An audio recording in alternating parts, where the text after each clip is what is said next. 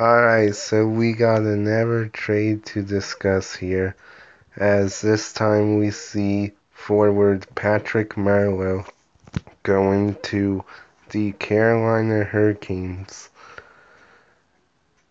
And the Hurricanes acquire Marleau, a conditional 2020 first round pick, and a 2027 round pick.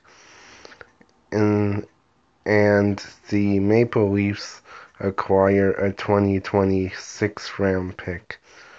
Now, obviously, I saw this coming for Toronto. There was a lot of talk saying that they wanted to trade Marleau, which they did. And obviously, I know they did it to free up cap space so that they can re sign Mitch Marner. But I did see this coming for the Toronto Maple Leafs.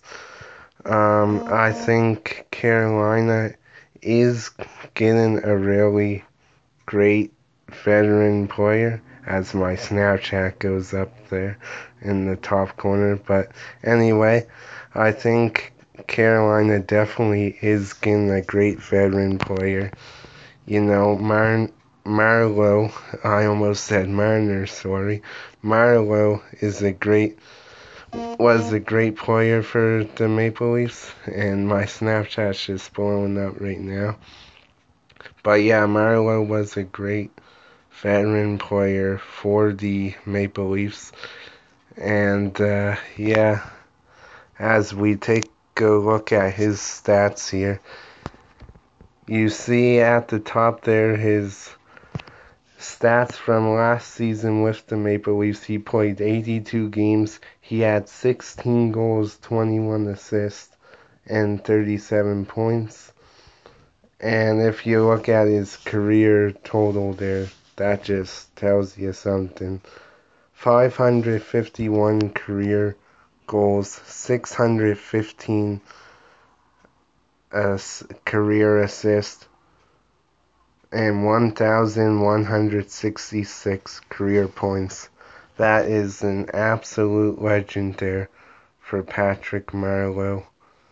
And Carolina's getting a really great player.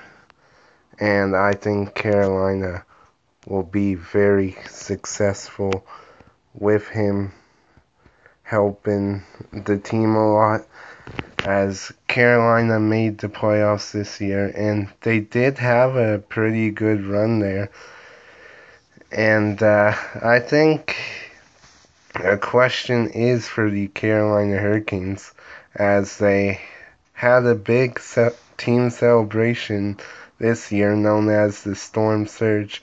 I know a lot of people are wondering if they will continue the Storm Surge next year when they win games. It'd be interesting to see, and it'd be cool to see Marleau get involved in it too. So I think definitely Carolina wins this trade, but I like it for both teams, you know. I really do know that the Maple Leafs are trying their hardest are trying really hard to make sure that they can re-sign Marner. But yeah, I like this trade for both teams. And Carolina has a lot of young guys on their team that Patrick Marleau can help them out and help them develop really well. And like I said, this is a good deal in my opinion and I'm excited to see what he does in Carolina. And let me know your guys' thoughts on the trade, and I'll see you later, boys.